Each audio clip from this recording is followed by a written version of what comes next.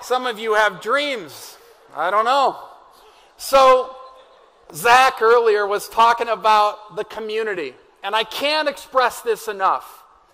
Community is so important. I teach this to my children, I teach this to my uh, people that I'm in business with, uh, I teach this to my spouse. She teaches me as well.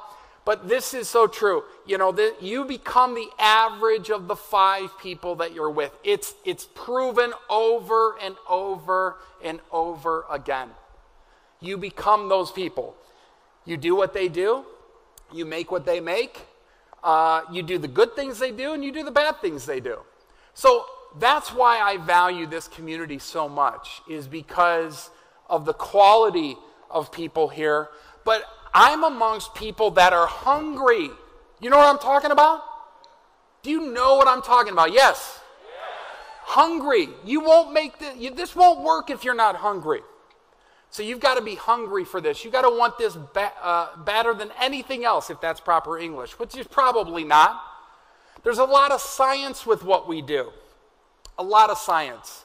So you know, number one, being trustworthy is really, really important. But if I look at this, the thing that I want to point out to you is that people make a, oh, did I go back a slide? Sorry about that. People make a decision on your trustworthiness within a tenth of a second.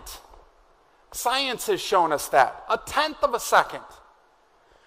And then Princeton researchers found uh, this also to be true that when they looked at this and did an analysis of this, they found out by giving one group of university students 100 milliseconds to rate the attractiveness, competence, likability, aggressiveness, and trustworthiness, it factors in what's going on with your face.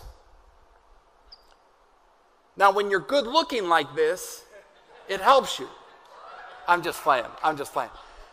But think about that a little bit. What can you do in sales that's going to help this immediately? There's two things that come to mind. What's number one? You tell me. Smile. Smile. Nice job. Are you smiling when you're out and about? If you leave the house and you're in a bad mood and you're not smiling, you should be. Because you're here, you're in America, you have a community that loves you, probably have a family that loves you, with few exceptions. Smile. We have a lot to live for here in this country. You know, when I look at other countries, even our neighbors, like Canada, for instance, or Greenland, Iceland, people aren't rushing to get into those countries like they are here. There's a reason for that. There's a lot to be excited about. Now, watch this. Check this out. A University of Pennsylvania study found that men with shaved heads